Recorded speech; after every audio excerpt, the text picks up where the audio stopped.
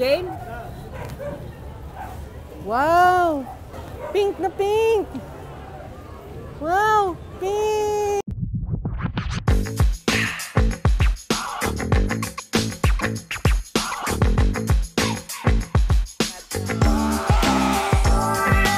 It's that time of the year na naman. May 1, Mayo 1, kung saan pinagdidriwang ang mga manggagawa. Mayo 1, manggagawa.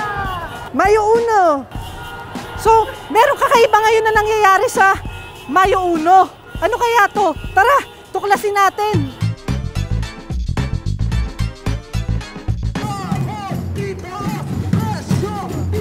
Ano ba nangyayari ngayon? Ano ba nangyayari ngayon dito? Ah, nagsama-sama ang iba't ibang ah, sektor ng mga manggagawa para ipaglaban ang kanilang mga karapatan at kapakanan. Makikita naman natin na sa ano sa rehimeng Duterte ay ano patuloy ang pasismo at lalo pang umigting ang pasismo at naninindigan ng mga manggagawa na uh, wakasan ito. Kunwari, ikaw yung nanalong presidente, ano sasabihin mo? Suot mo tong president shades. Ibabagsak ang imperialismo. Isusulong ang pamban... Yung may power naman. Oh, sige. Ibabagsak ang imperialismo!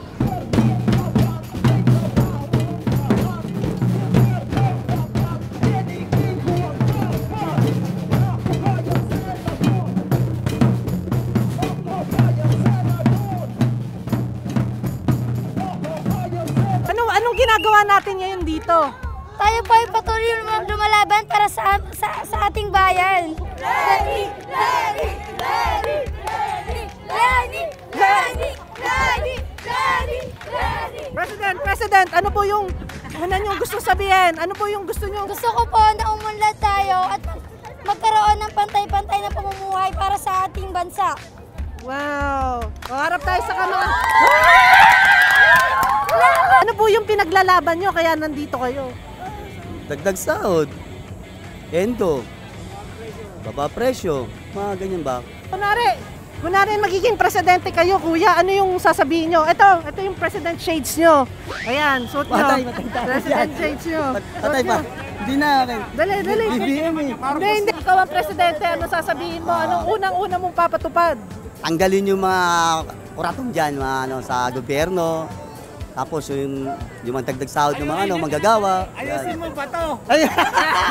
Tapat na gobyerno lang gawin natin para maganda, maayos yung gobyerno. Tapat na gobyerno! Bakit may bulaklak ka sa ulo? Ah, ang bulaklak po kasi ay simbolismo po ng pag-asa. Siguro kung ako magiging mananalong presidente, ang unang-una kong ipapatupad, bawal ang pangit. Bawal ang po pangit. Ikaw ba kasama ka doon sa mga naglakad ng pagkalayo-layo? Oo, kasama ako. Pa- napagod ka, napagod. Para sa bayan. Ma- masasabi mo bang nabasa ang kilikili mo? Oo. Walang-wala naman yung basa ng kilikili kung anim na taon na magiginhawa yung buhay natin. Yan. Sabi nila elitista raw yung mga nandito. Elitista ka ba? Hindi ko po alam anong ilista eh. Boboto ka ba ng magnanakaw? Ay, hindi po talaga. Boboto ka ba ng spoiled brat? Hindi rin. Lalo na yung adik, ayaw namin. Bakit pa siya babalik? Sasairin ba talaga niya ang kayamanan ng Pilipinas? Sa head na, sa head na! Ano po yung pinaglalaban nyo? Manggagawa rin po ba kayo? Wow, street sweeper. Ano ano po yung pinaglalaban nyo? Bakit po kayo nandito? Para ano, ang bilihin ba bumaba tsaka tumasang sweldo. Bakit hindi po kayo doon sa kabila? Doon sa tunay na kulay na rosas daw. Ay! comment. Ano, kayo nahalal po kayo ngayon. Ano po yung itutupad nyong pangarap? Pangarap ko maka, ano, makatulong sa tao. Tsaka isa pa, tumaas ang sahod. Itaas ang sahod! Masasabi mo ba yung pagkakulot ng buhok mo, ganyan, ganyan katindi yung paglalaban mo para sa mga manggagawa? Oo naman! Kung uh, init-init na ka, ano dyan ako. Po, titigilan mo ako. Baliw daw yung mga nagtatrabaho na 18 hours. Baliw ang hindi nagtatrabaho kasi wala namang trabaho ang nagsabi no si Marcos na wala namang trabaho, so wala siyang karapatan, wala siyang moral ascendancy. Oh, moral ascendancy, hindi mo alam yon. Yung mga manggagawang Pilipino, kahit yung mga ah, mga nanay, more than 18 hours nga silang nagtatrabaho, baliw ba ang mga nanay natin? Hindi naman, di ba? Kaya deserve ng mga manggagawa na nagtatrabaho ng gobyernong mag-aalaga sa kanya, mag-care at ibibigay yung kanyang karapatan. So, kung magkakaroon ka ng post bilang presidente, ano yon? Yo! Pak! Ah, wow, wow! Wow! Oh! Presidente, ano masasabi natin? Sa gobyernong tapat, manggagawa, angat! Ano pa? Marcos magnanakaw! Ang wild! Ang wild ng Mayo Uno!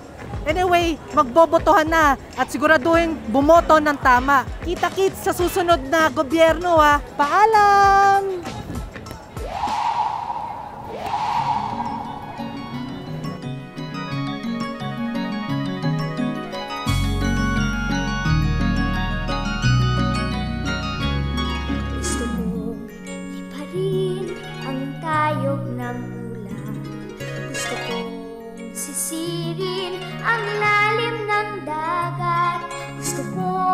Kong akyatin ang